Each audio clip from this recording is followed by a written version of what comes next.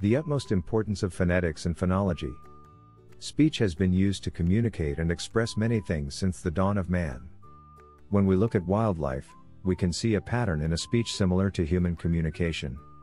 To truly understand science speech, we must look deeper at the concept of communication. Why speech is important.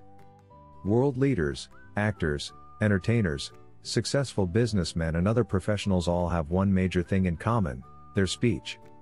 We look at presidential talks and product release conferences and see a pattern of a very attractive speaking form.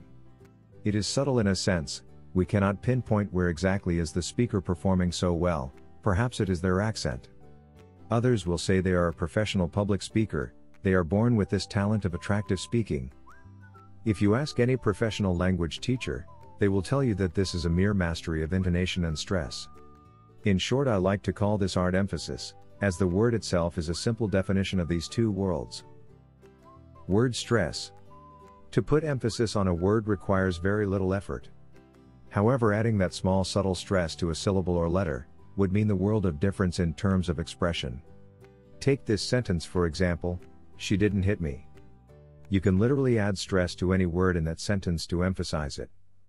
A general rule is to add stress on one word, two in some cases. I want to express that the woman did not hit me. Therefore, emphasizing she implies that although I was hit, the woman did not hit me. The list of examples can be endless, yet, this is a taste of the importance of empathy. Speech and communication. Communication is not meant for a simple order or instruction, it is a conversation in the closest form possible. We want to express our emotions, ideas, and so on.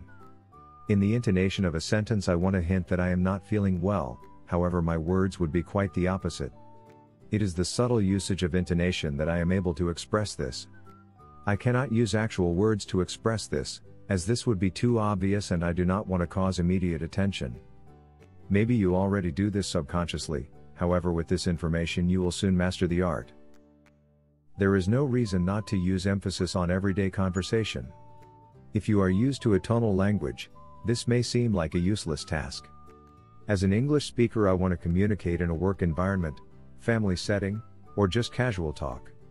There are many opportunities to express something in a different way to communicate a fact, idea, and other various concepts. Perhaps I want to wish someone my condolences in a genuine heartwarming way. I want to express the urgency in an important document. My boss is giving me praise and I want to express how honored to hear it from him. Do you want to teach English abroad? Take a TEFL course today. Stress and intonation are key players in communication. It would be great to communicate telepathically, to know exactly what the other person is expressing. The closest thing we have are words. How we say these words should not be limited to saying words in a standard format.